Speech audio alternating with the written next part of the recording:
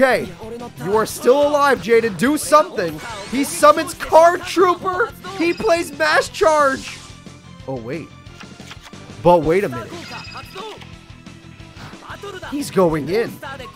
Mask Change number two is a huge card. That card's busted. He's doing it. Mask change number two with 450 life points. He summons Dian. Dian wins the duel. Dian special summons a monster. We have a brand new champion, and his name is Masked Hero Jaden. Just barely on turn 10, he gets the victory. He becomes a champion. The Outback champ is Jaden Yuki with his Masked Hero deck. That's what I'm talking about.